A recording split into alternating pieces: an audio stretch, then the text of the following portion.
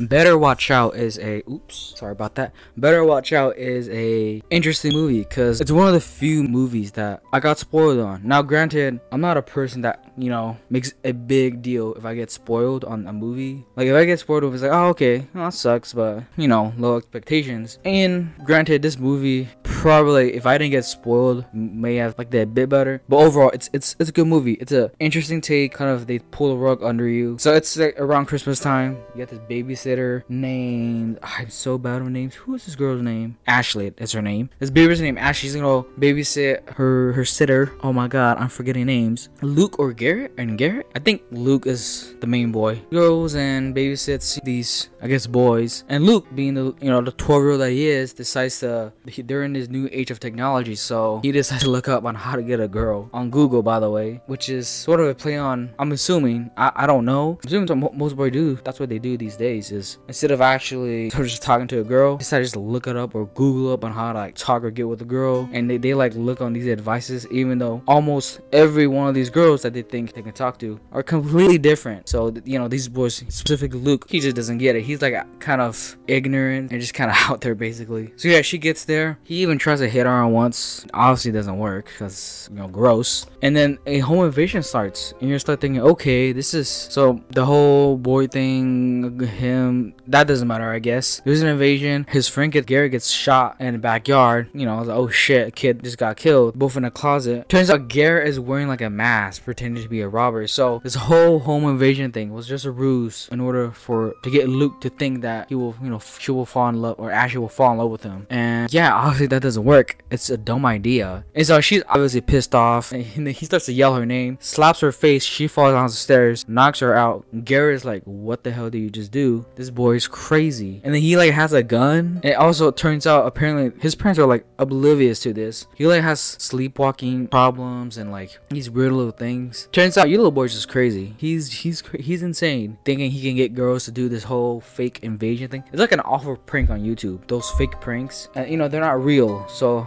kind of same vein as little boy. Him and his friend again plot this whole thing up. He's trying to fall in love with Ashley. It's just a 12 year old boy sort of weird fantasies coming to, to light and but you know, it doesn't work. It's an interesting twist. I remember thinking, wow, this is uh completely like 180 or 360, man. This shit just turned around quick. Like you know, and then it's because not gonna lie, I, I was kind of bored. Like during the whole okay, trying to get Ashley your babysitter, blah blah blah. This isn't porn. You know, he like slaps her, she falls down, and then she like calls her boyfriend over because they were planning something, obviously, and so they you have to hurt him as well. So they advise his plan, which they had planned from the very beginning, planting seeds. Wonder if a bucket of paint will blow a person's head off from a second story and swinging it down to the first story or first floor. And it does. So they tie him up. They kill him, by the way. Throwing, swinging this bucket of full of yellow paint. Bam, smash to his head. And then paint comes out, but then slowly blood starts coming out. And so it, the little boy starts laughing. Garrett doesn't, by the way. Garrett's kind of like, this is awful. This is not good. We should probably be in jail for this. But your boy Luke over here just insane. He's crazy, man. Doing whatever he wants. Kind of ungrateful sport little brat. Ashley obviously is upset. She gets a gun. Turns out it's a fake. So not only is he psychotic, he's supposedly smart. And he is. He tricked his parents thinking he could sleepwalk at night in order just to sneak away out of his window. Like that, that's a smart, king, evil kid. Again, they tie her up. And then another guy shows up. I don't remember if this guy's a friend or just a neighbor. But then he,